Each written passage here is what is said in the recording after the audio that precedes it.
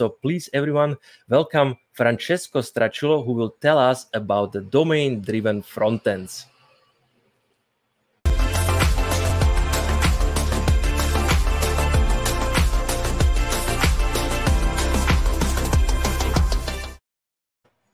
Hey, Francesco, welcome. How is Hi. it going? Hi, nice. Thank you. Um, I'm happy for your uh, short on the vaccine. On the vaccine. oh, thank you. Yeah, yeah, like everybody has to like put their own like part to the whole whole picture.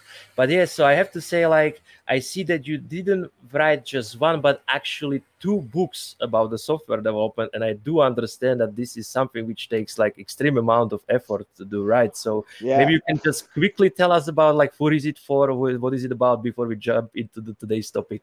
Uh, yeah, I wrote uh, one book and half in reality. The first book is about uh, how to build a, front-end application without frameworks. it's called frameworkless front-end development. It's about uh, you know rendering without frameworks or routing without frameworks and so on. Uh, the second one is uh, I'm currently writing it, but is already published on LeanPub. So I publish the chapter every every time that I have something to publish. And this is about uh, making decisions in software development. So how to help a team to choose the right framework, the right tool, the right architecture, and so on. Sounds pretty interesting. So who would be like the best target group for this kind of books? Who would get like the most value from this kind of stuff?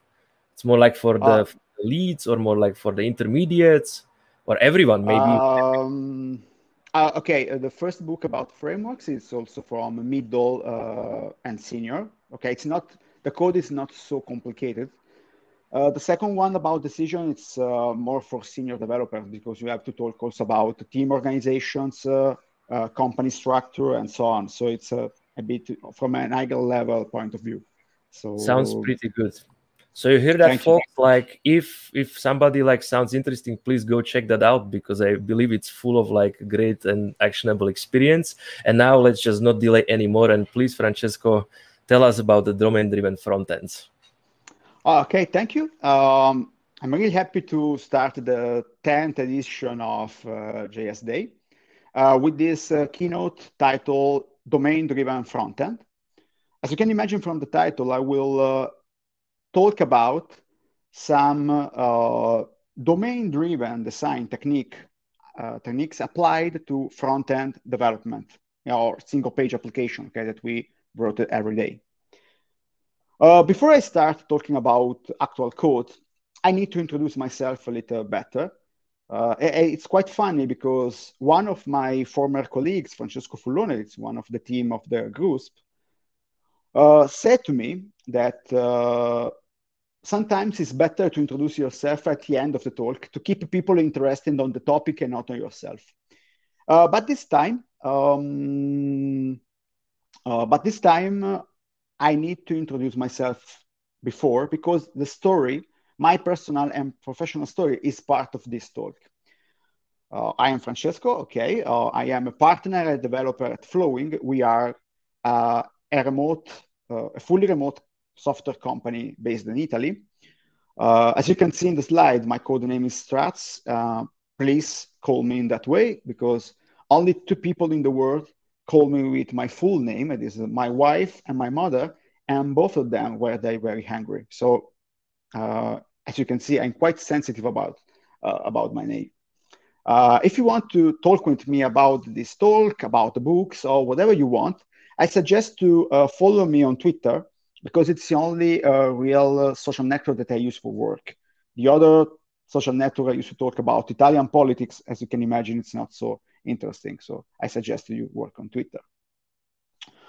Um, I started working in JavaScript in 2009. And uh, before that, I wrote professionally Java code for, I think, seven, six or seven years, if I don't remember correctly, okay? And uh, when I switched to, to JavaScript, I started working with AngularJS. So imagine my pressure, okay? I was accustomed to an ecosystem that were uh, typed, strongly typed, full of infrastructure, full of things uh, already designed by the path of you know uh, frameworks like Springs or um, Hibernate and so on. And then I started working with AngularJS. It was quite a shock. Okay, after a while, and eventually, I started to I stopped worrying uh, and I started to love undefined, just like Strange Love start, stopped worrying and started to love the bomb. Okay. Um, but you may say, why are you telling me this? Why it's important for your talk? Well, the point is that while I was studying JavaScript, I always, and I still doing that, I'm keeping a shoe in the, in the backend ecosystem, in Java ecosystem. Uh, right now, I'm working with Kotlin, for example, in these last couple of years. And in the in the in the in these years, I study a lot these two books that you can read here: the famous Blue Book of Domain-Driven Design, the first one by Eric Evans, and the famous Red Book about implementing domain-driven design by Vaughn Vernon. This is my personal history. This is uh, uh, the background uh, that explain why I'm giving you this talk today. Fast forward to 2015. Uh, this is a frame from the incredibly famous uh, talk by Dan Abramov about hot reloading with time travel at React Europe, when he introduced Redux for the first time. When I saw this talk, and probably the most of the people that saw this talk reacted like, uh, you know, wow, it's so cool. Everything is based on events. Uh, everything will be fine, will be perfect. Then I used the Redux in production for some years. Okay, so uh, I use the dev tools, I use the testing tools, I use Redux Saga, for example. And after a while, I just thought about my Java background and I said, okay, this is very, very similar. Redux, it's very similar to event sourcing. Event sourcing is a pattern for backend application uh, that emerged from the domain-driven design community where everything, every change to the system is uh, originated from events, just like Redux. And uh, the problem of Redux are very similar to the problem of event sourcing. And uh, looking from the other side of the coin, the good part of event sourcing are exactly the good part of Redux. So I felt, you know, some type of connection between DDD and front-end community. Uh, fast forward again to nowadays, and nowadays micro frontends are a fact. Okay, we have module federation, we have more of one way to implement micro frontend. Uh, we have a talk, I think, today about micro frontend that will follow shortly. But we are in the same situation. Micro frontends are uh, originated from microservices, of course. And microservices um, are a huge part of the DDD community about uh, bounded context, subdomain, core domain, and so on. So there is a relationship uh, between DDD and front end. But most of the time, this relationship is hidden. Uh, and this is because what I noticed after that I noticed is, you know, about event sourcing, microservices, micro front end, Redux, is that front end community and DDD communities don't talk too much each other. If you participate uh, in a DDD conference like DDD Europe, they will talk uh, or not at all, or very, very, very few talks about front end. And on the other hand, on, in front end talks about, or in front end blog posts, you will never find um, so um, some root in DDD uh, communities. It's very, very rare to do that. So why here at the end? I'm here because I want to start talking about DDD to front-enders and also vice versa. I announced to you that I will try to give this exact talk also to DDD community to show the relationship between these two important part uh, of software development ecosystem.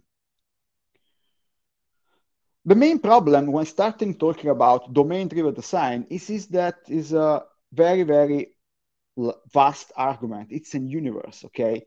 So with this uh, short slide, I want you to, um, to uh, let you understand what this talk will be about. Uh, domain-driven design is divided in two main branches. The first one is the strategic domain-driven design. This is all about uh, dividing the, the domain in smaller parts with context mapping, using ubiquitous language, using data storming by Alberto Brandolini, defining your bounded context. Then you have the tactical techniques that put the strategy into action. And this is what I will talk about today, how to put tactical DDD in practice in a, a JavaScript application. So I, am going to introduce you to entities, value objects, services, aggregates, and domain events. So uh, problem solved, but um, I don't want you to think that um, everything that is born from DDD is actually doable as is in uh, JavaScript. I don't want to say that. But what I want to say is that it's important to know that um, the principles that are behind DDD and also to build a common ground and ubiquitous language with backend developers in order to, you know, have a better communication between your team. So brace yourself. I'm going to show you some code now. Um, the code is will will be is uh, hosted on GitHub. You can see there flowing IS DDD frontend, and I will share it on um, I will share it on my social network later that after the talk. A quick note about the code. Uh, you can use, if you're going to look at after my talk, you can use the history of the of the of the repository like a slide deck. Every commit has uh, a, small feature or change or changes a small part of the, of the application. In this way, you can navigate through the code just like my talk. Okay, a small disclaimer uh, before I start. I decided to use uh, JavaScript. And I did that, uh, and not TypeScript, for example, uh, and I did that for two main reasons. The first one is there is because this talk, the, the actual code for this talk, is born from a real world use case uh, where my team and I helped a team's client, actually a client's team, uh, to refactor a very, very large backbone application. Um, and they had a lot of business logic inside the UI component. So what we tried to do that we succeeded was to extract the UI code and put it in domain objects, like I will show you in a moment. At the time, we used JavaScript because it was quite difficult to add another bundler in the project, as you can imagine. So for historical reason, I kept uh, JavaScript in my code. Uh, my application will not be on Backbone, but will be on React to, to let more people to understand what is happening under the hood. The other reason is because I think that uh, DDD is most, uh, most uh, the most important part of DDD are the principle and not the actual implementation. The actual implementation will be more easier in TypeScript because I can just copy paste examples from, I don't know, Java or C Sharp. I can use classes, I can use interfaces, I can use the same uh, pieces of code that I use uh, on that are used in the DDD community. But what I wanted to demonstrate you with my code is that it's actually doable also without types, also in JavaScript. So, okay, let's start with actual code. Okay, so uh, before showing the code, I will show the application. Okay, it's just a random list of um, employees. Um, and I imagine that I am the manager of a company and I can promote to, I don't know, senior developer or whatever you want, some of the employees clicking on the heart icon. Okay, this is my uh, basic application. So Let's start with the code. And as you can see on the right, I will always have uh, a small vocabulary about DDD techniques. Um, and then we arrive to repositories and entities in a moment. So, okay, I have my index.js application. It's a standard re create React app application. And then I have, you know, um, the app content, the, the, app, the application itself, Let's just take the employees repository, and I will show the code of the repository in a moment. At the startup, it just take the list from the from a server, okay, and then when the when the data arrive from the server, you just put them in the state. This is a classic uh, uh, React pattern. I get I get the data and I put them in the state. When I click on the promote button on the icon, I just map the employees, the existing employees, to a new array when I change the promoted attribute of the selected employee to true. Then I change the state, so I update the UI, and then I invoke asynchronously the backend. And if there is an error, I manage it. Right now, I just print a console error, and I reset the employees to the previous one. I, here I can show a toast, I can show something else let me uh, in, explain to you the first two concept of DDD that I'm introducing in my talk. That is repository and entities. A repository is, a an, is an object with the purpose of store and retrieve entities. Its form should be independent from the data source. And I will show this right now. As you can see, the, as you can, as explained you, the data is completely random. There is no real backend here, okay? It's just uh, some random data created with Faker.js. Uh, if you don't know it, Faker is a really, really cool library that is, can be used to create random data. I use it in all of my talk and workshop when I did a bunch of data, but you can also use it when working, where you need to, you know, uh, create something and you don't have, you don't have actual data to work with. Okay. Uh, before going to the entities, I want you to concentrate on the list method. As you can see, I've wrapped my random data in a promise with a set timeout. Why I did that? I did that because the form of a repository should be independent from the data source and what is the most basic way to design an asynchronous uh, repository because every front-end repository is always asynchronous, okay, with a promise. So I've wrapped my simple, stupid data source with a promise. I could, I can use an RX stream. I can use also a, a callback if you prefer. It's not important. The important stuff is that you keep your public API independent from the data source. In this way, when I should change to a real backend, the rest of my application will not change at all. So what is an entity and where is the entity inside this uh, simple file? An entity is just an object defined primarily by its identity and that can, be, can change over time. So uh, to keep this thing easy and short, everything that has an ID is uh, most of the time is an, called an entity. As you can see here, I create an array of entities with a faker, with a fake ID that is a UID. So it's a unique ID. It's not a case that we use the ID usually as a key for React repeater, for example, because uh, the way to identify an entity is by its ID and not by its values. So, okay, let's go on with the next commit. next commit, the next, the, the, the only difference between two, the two commits is that, that I added a, a small, sorry, I will fix the zoom.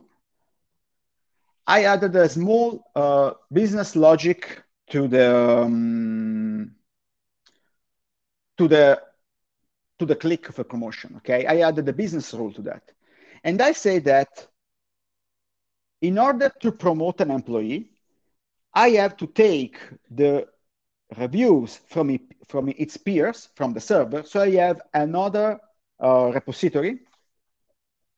And uh, I also have, I need to calculate the average ranking.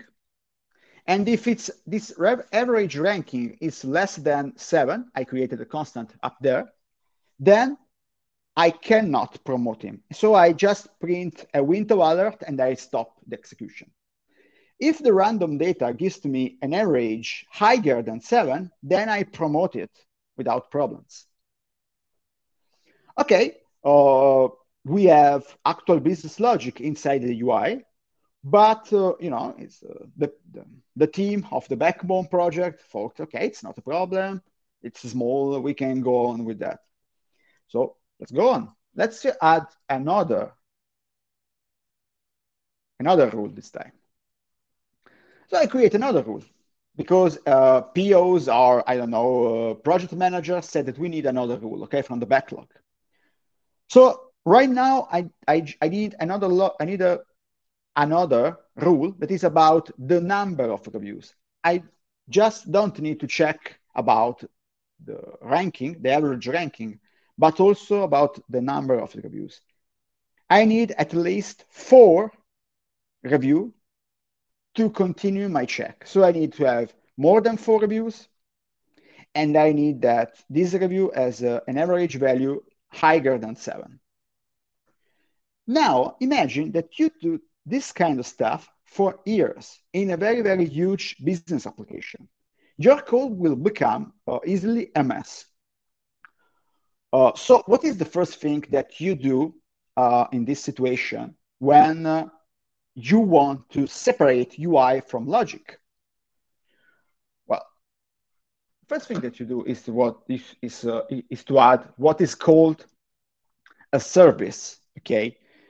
Uh, in DDD, a service is an object that orchestrates the steps required to fulfill command imposed by the client.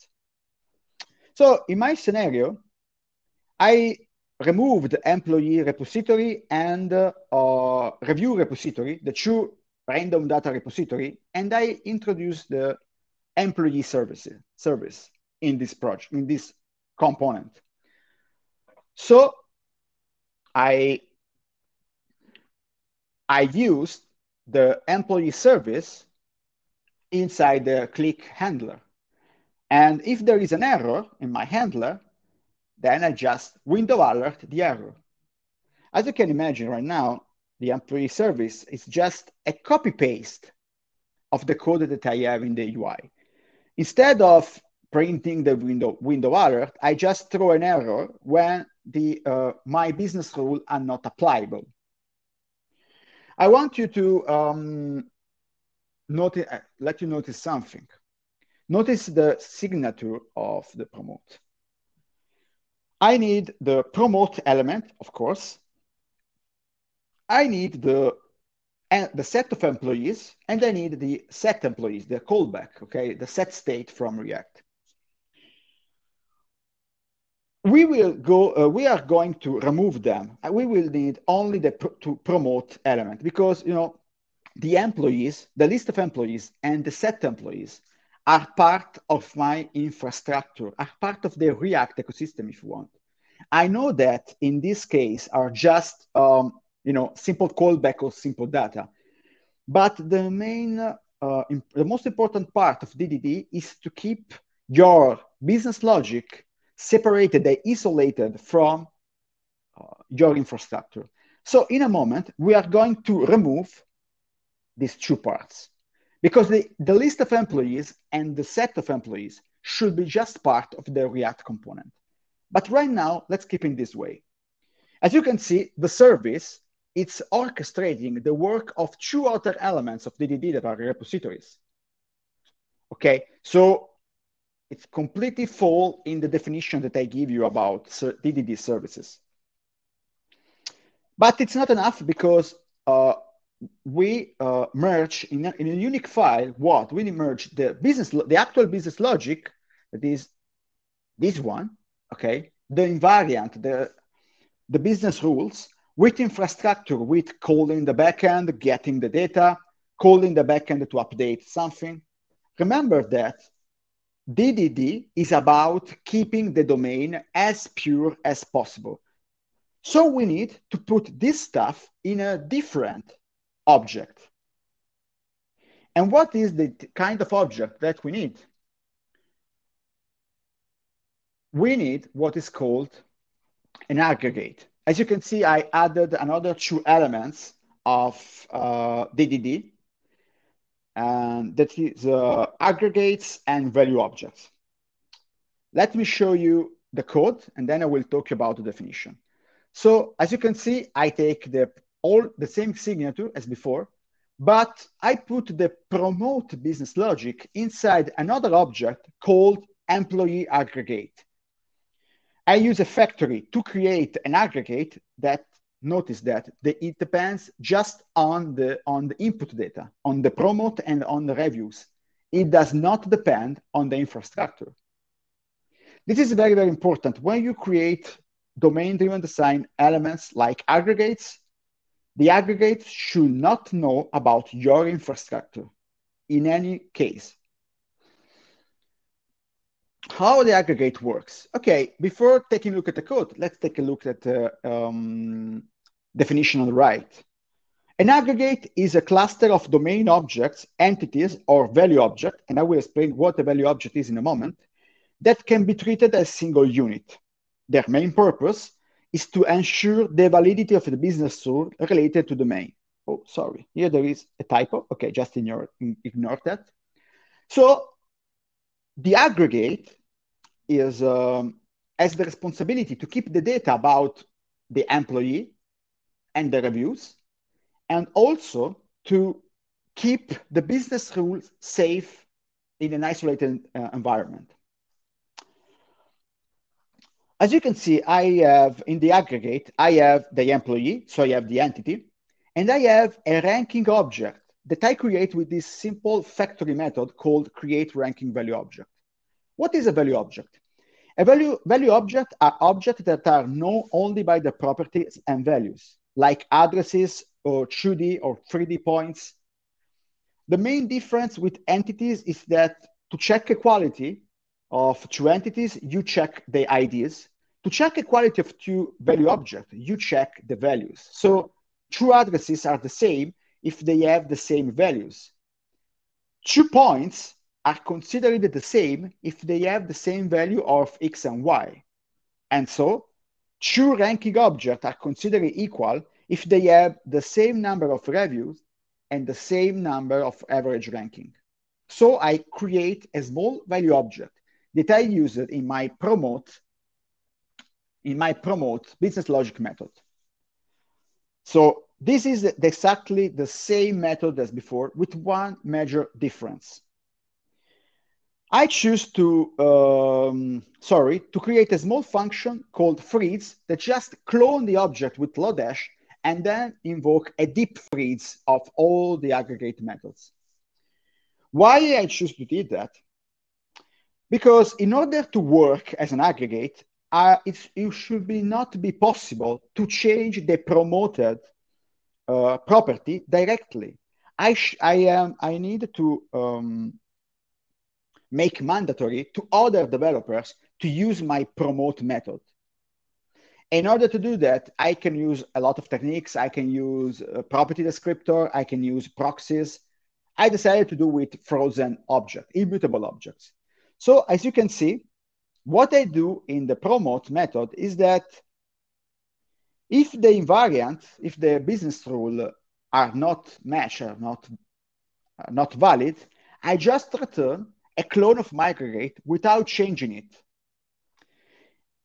If the if the business rule are pass pass, then I just create a copy of my aggregate, changing the promoted to. I use a dot prop immutable. It is just a simple utility that change an object by copy and not by reference. In this way, I can use the the new employee, the result of the aggregate, and I can check that if the promoted is still false after that I call the, the promote method, I can assume that something went wrong and I just throw an error. Otherwise, I just call the new employees, set employees, and so on. Okay, this is not, this is cool because we have the business logic inside a pure object. So it's completely testable, but it's far from perfect because we lost one feature that we had before. As you can see, I don't have a specific error right now. Before I have a specific error for specific uh, business rule invalidation. Right now I have just a simple error. My UI just answer, you cannot be promoted, without explaining why it's happening.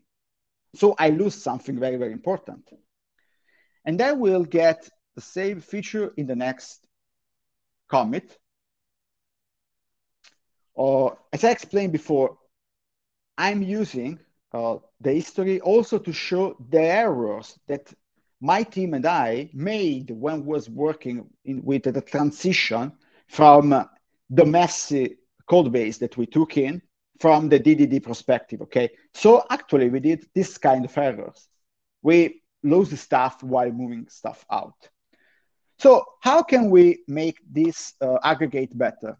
Well, I created uh, a simple enum of results type where you can be okay it can be not enough review. So when I check the number of reviews, and I can also check the ranking that is too low. Then inside the promote, I just use, uh, I just return not just the aggregate, but a result type. So I return when the ranking are not enough, I return a result type that is not enough reviews. And I return also the number of reviews that are useful to create the error to send to the, um, to the UI.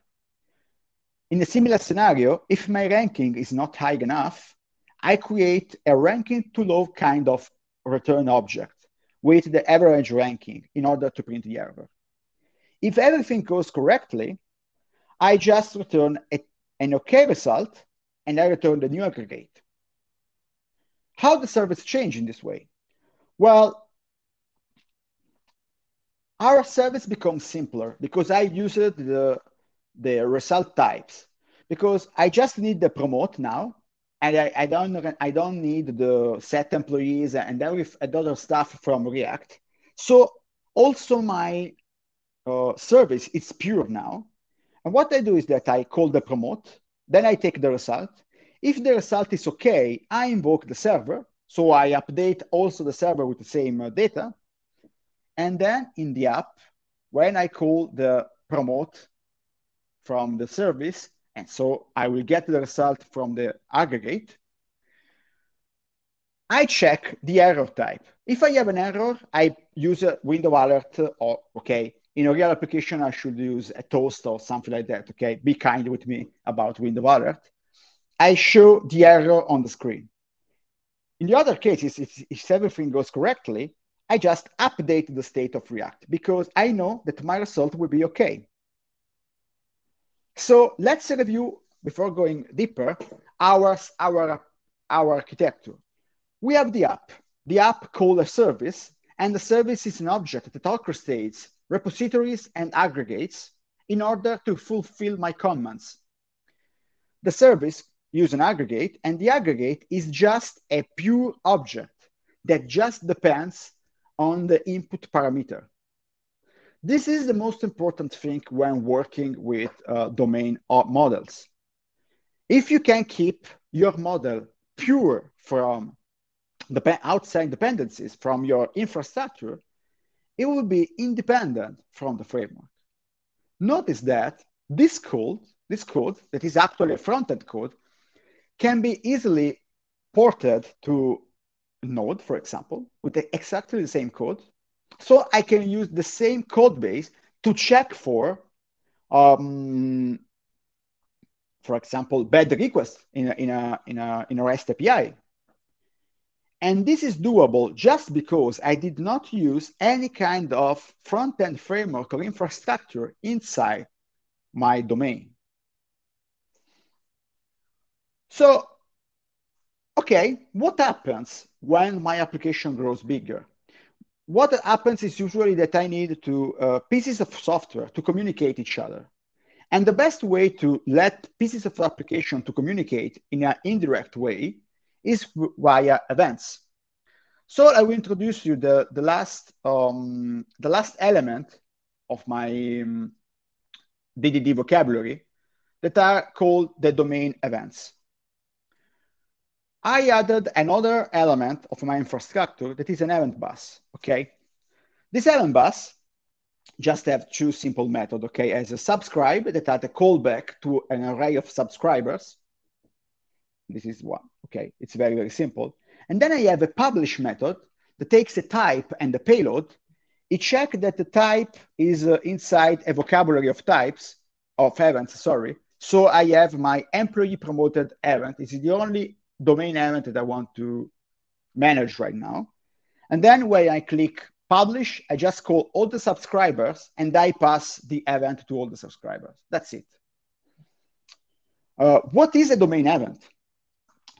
Domain event is something happen that is relevant to your domain.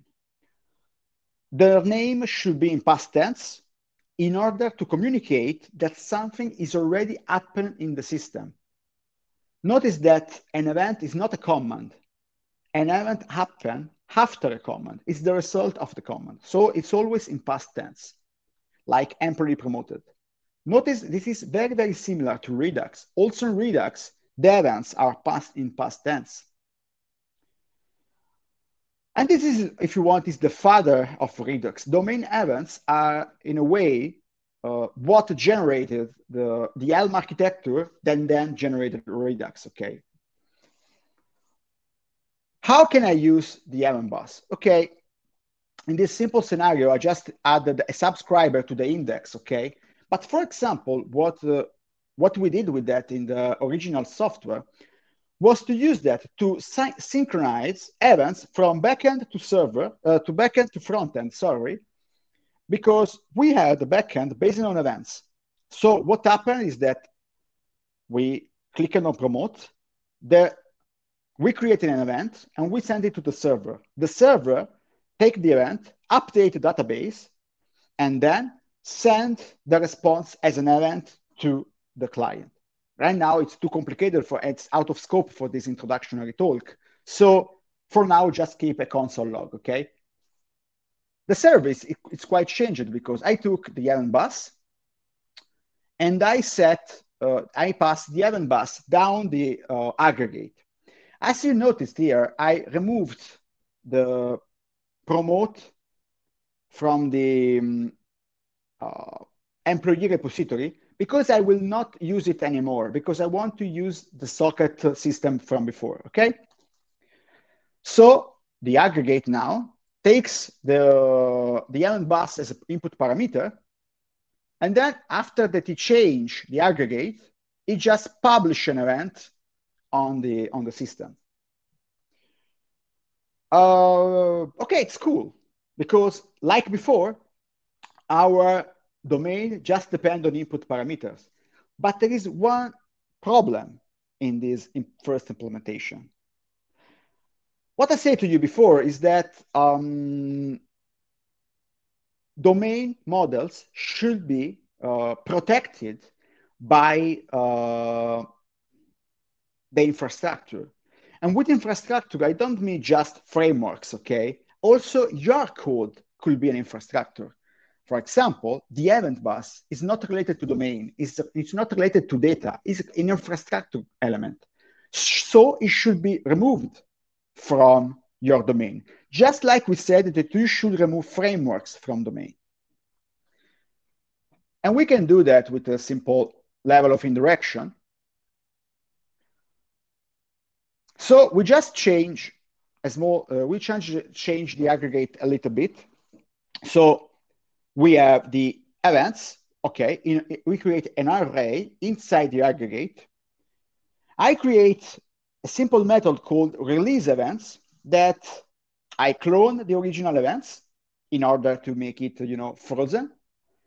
And then I reset the my events. And then I return the events to my the, to the user of my public API. Who populate these events? Well, the promote method. Instead of publishing the event to the event bus, it just added the event to this event list, to the array. The employee service changes a bit because what it does is that it takes the result, it just releases the event. So it took the event from the aggregate and reset it. They are empty after the invocation. And then for each event that is generated uh, in the aggregate, it published it on the event bus. So I added a simple level of indirection. And that's it. Our aggregate returned to be as pure as possible. Let's add the last commit. The last commit has a bunch of tests about uh, the my, my aggregate. And as you will see, the tests are the, the proof that my model is actually working without using any kind of uh, data from outside. I just create an aggregate, okay?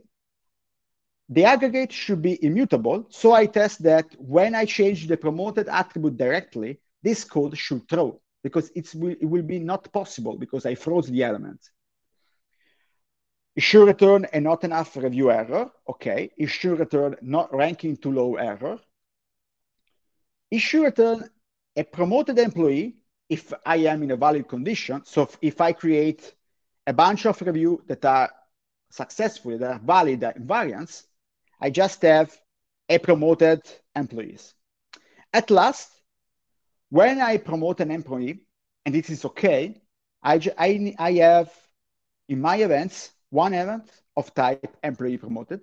And after I call release event, I have zero elements in my array. So it's uh, important, okay? I can call again and promote it. If, if something, and if it's valid again, I get another event. And that's it. That's all the code that I will show you. So I'm ready to conclude my talk. Uh, so why you should care? So uh, thanks to this talk, I hope that you learned that it's possible to implement some of the most important DDD principles inside the existing front-end application. But why should you care? Well, because domain, the business logic, the actual rules of your business are the most valuable part of your software. All the rest is just noise most of the time. If you have an application that should last, I don't know, uh, for more than five or 10 years, probably your framework, your infrastructure will change during time and you will be you will be needed to move your domain from an application to another application and if you keep your domain as pure as possible uh, it's better because it's uh, you know it will not depend on any external dependency. And it's also more testable like you saw in my code in a nutshell you should defend domain from frameworks as much as possible. And uh, and there's also another reason from that. If you are working on existing project and you want to, you know, modernate your code base, it's easier to introduce principle in existing code base instead of frameworks. Uh, for example, the project in Backbone that I talked to you before, the, the client's team at the beginning wanted to introduce React with another build and uh, a strangle fig application pattern. But we stopped them because to have a second build was very, very difficult to manage in the long term. So we decided to, to say, okay, let's start to remove backbone from your business logic. Then we can start creating a second application that will eat the, the young one and we'll put pure domain in the new application that is in React.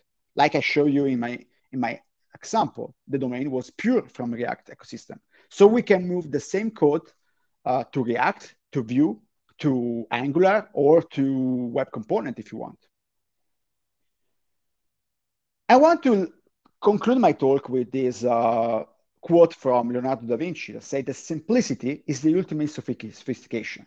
Because what you saw is actually um, uh, is actually simple, but it's not easy. Okay, uh, as you saw, it took a, a lot of trial and error also for a senior developer.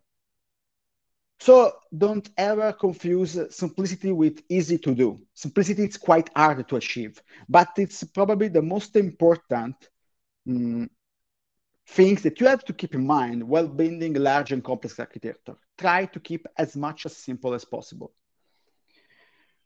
Uh, we are hiring.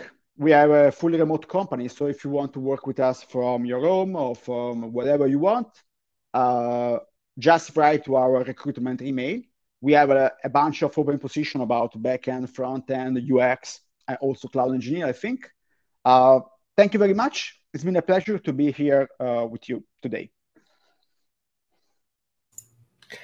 So thank you very much for a great talk. Strazz, is that correct? Did I pronounce yes, it correctly? Yeah, yeah. So we have to learn, right? So uh, let me first uh, quickly start with like, please, folks, do not forget to ask your questions in the chat or in the Q&A panel next to the video, right? Because this was very interesting. I think it opens like a lot of possibilities to ask questions. And let me start with something which I'm personally interested in. So first of all, I really think it's really great whenever we get an approach which really tries to separate like side effects from like the, the logic and the data handling and this kind of stuff. So that's always really really great. But you were uh, like mentioning many times that like it's uh it's framework independent which also makes perfect sense as you explained at the end that backbone comes angular goes vue react who knows what comes in the future svelte.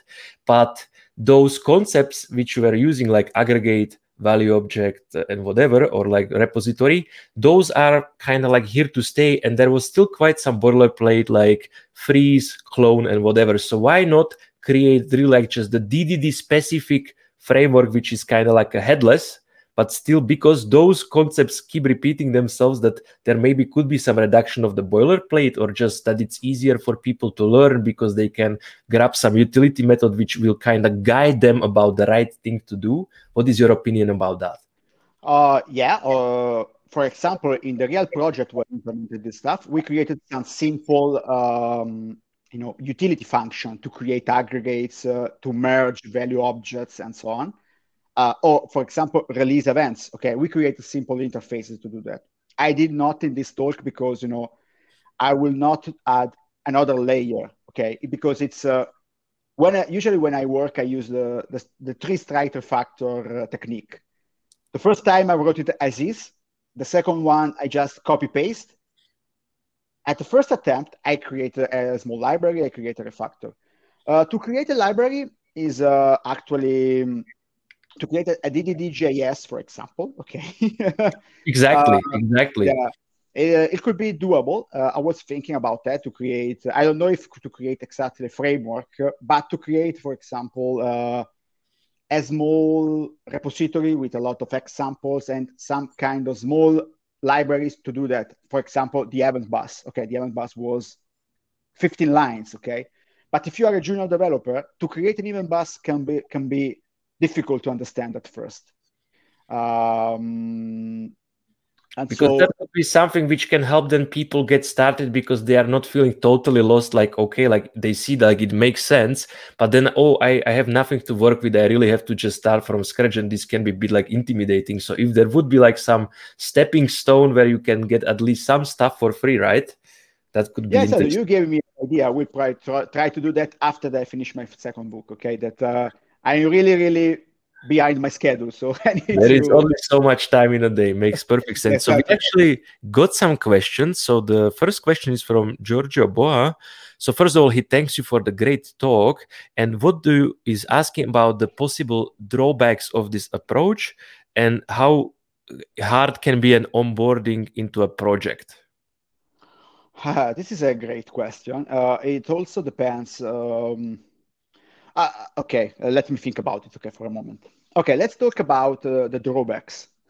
Uh, the drawbacks, the main drawback is that could be, could seem quite alien for a front-end developer sometimes. Okay, uh, not about the entity or repository because if you think about that, we use it that all the time.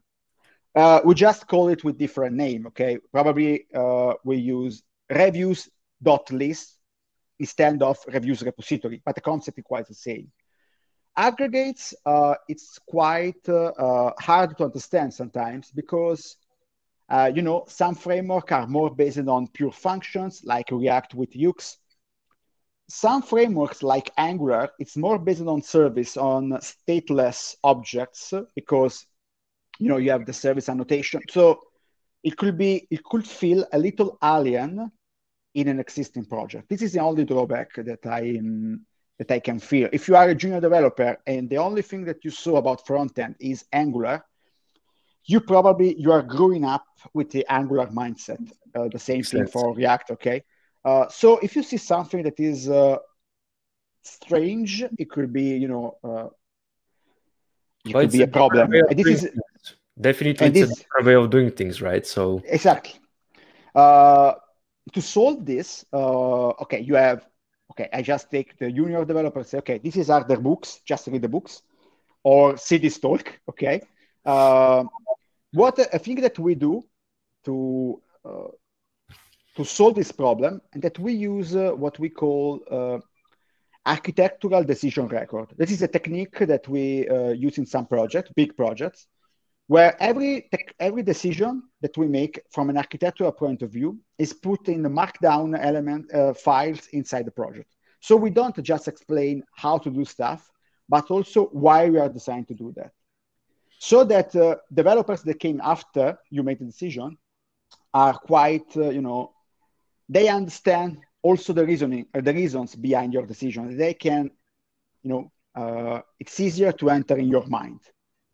Yeah, yeah, no, definitely. Like, like that's like it. This seems to be like the the biggest thing is that just because it's not so well known in the community, right?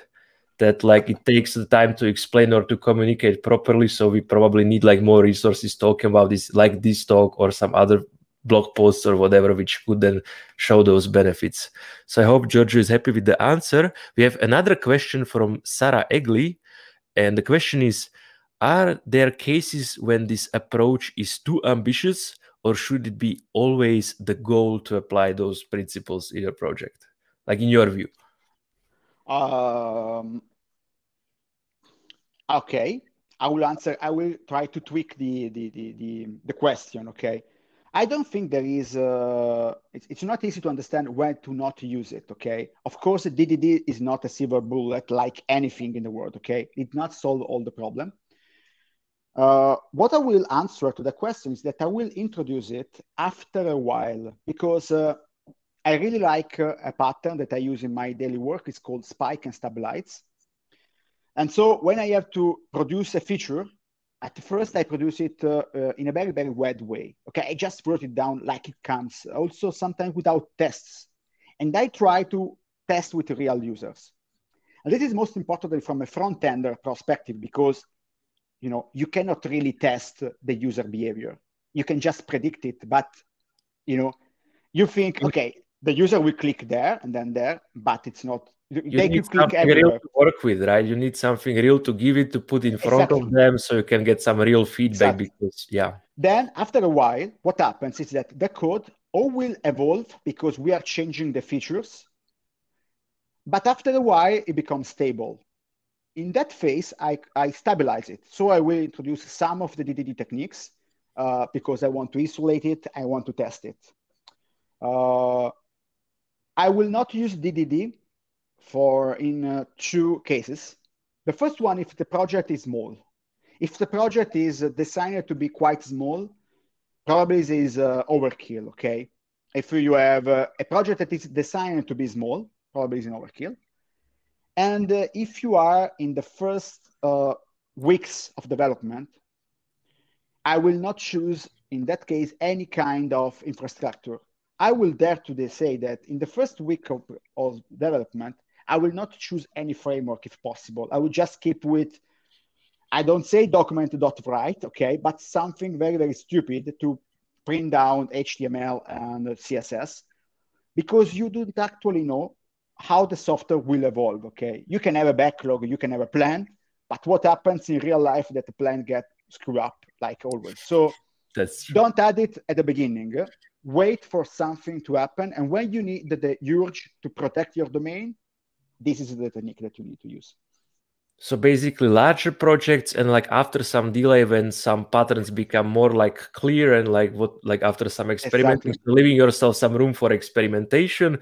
And after this phase has passed and some things are kind of clear that this will be like this and like that, then this technique can help you to like fix it in the code in such a way that it's then very but easier to maintain and more robust and easier to test, if I understand that correctly. Exactly. This is why I started with a simple React project without anything at all, because I wanted to show you how to introduce an existing application. Makes perfect sense. So do we have some other questions? Please, folks, do not hesitate. And besides that, I see here one thing. So what is, in your opinion, like the reason why the domain-driven design and the front-end community doesn't not communicate so much or like that those concepts are not so well known between each other? Oh, uh Okay, this is a, this is an hard question. I, I actually don't know that, and I think that uh, it's uh, because of JavaScript. You know, uh, JavaScript is a strange language. Uh, yeah. Uh, if you took it from uh, you know people that came from C Sharp or Java, that are the, commu- the, the people that work with DDD are usually work with these kind of languages. not today. Today you can do that also in PHP, for example but there's that, that concept are born in that communities. And you know what Java developers think about JavaScript and what JavaScript developers think about Java. Sometimes, today, yeah. Today we have TypeScript. TypeScript could be a lingua franca, for example. Uh, it seems to be bringing like the best of both worlds. You can go exactly. dynamic, you can just set the strict flag and go like fully hardcore. So it's like up to you. You can switch it later once you know what you are doing. So it sounds like a good stepping stone. Yeah. So exactly. Uh, like I said in the talk, I decided to do that with JavaScript uh, because this is a JavaScript uh, conference. And I want to demonstrate that you don't need types to implement principles. You just Makes need sense. principles. Makes sense. Probably isolation. I, if I probably do this talk to a DDD community, probably I should switch to TypeScript with a code in order to let them better understand what I mean. I think so this is the main problem. So they don't run away screaming that like, oh no, that's too exactly. much. Like we have our safety. Okay, now we can listen. Exactly. Makes perfect sense. So thank you for your answer. I think then, yeah, there are no more questions. So with that being said, then Strazz, thank you very much for this amazing talk, and hopefully we can see you at some future edition of the JS Day Italy. Thank you yeah. again, and have a great rest of the day. Okay, bye bye. Ciao.